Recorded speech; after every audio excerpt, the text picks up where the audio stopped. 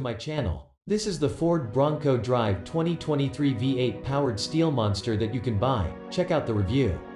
Ford Bronco fans, this isn't the new Bronco Raptor you've been waiting for, but it's not a one-off race vehicle either.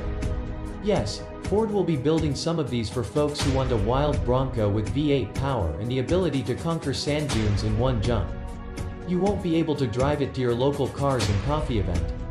Say hello to Bronco Drive, which stands for Desert Racer. As the photos illustrate, this isn't a typical production Bronco with some bigger tires and fat fender flares. Ford isn't ready to fully reveal the secrets on this crazy off-roader, but where you usually find an upgraded engine with 4 or 6 cylinders, the Bronco Drive packs a 5.0-liter V8 that makes at least 400 horsepower. 298 kilowatts.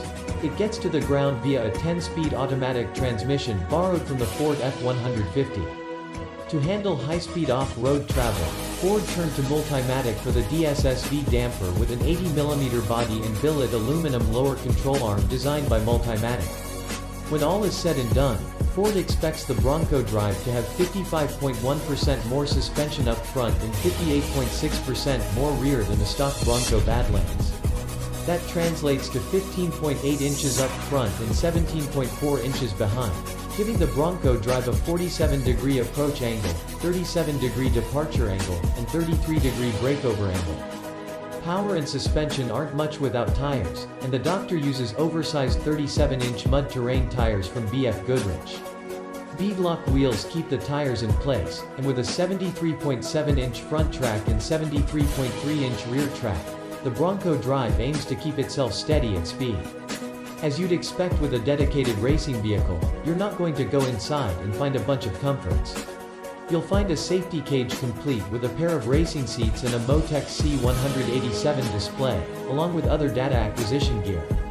Despite being built on a standard four-door Bronco frame, the rear is occupied by other items, not to mention an additional cooling system and a full-size spare tire. The 65-gallon fuel tank sits under all of that, and to help lighten the load, all of the body panels are made of fiberglass. Still, this Baja hitting Bronco tipped the scales at 6,200 pounds. And that Baja Bash will, or rather, that's the plan. Ford will run the Bronco Drive in the 2022 Baja 1000, but this time, the automaker wants to share the love. 50 Bronco DRs are planned for production in late 2022, each intended for off-road use only and each priced in the mid-minus $200,000 range. The Bronco Drive is here to give hardcore off-road enthusiasts a wild 4x4 turnkey car built to compete in desert racing events, including the unforgiving Baja 1000, said Mark Rushbrook, Global Director of Ford Performance Motorsports. It started with the four-door Bronco, the platform and chassis were real production, and then we modified and optimized every aspect and built the hardcore vehicle that off-road enthusiasts want.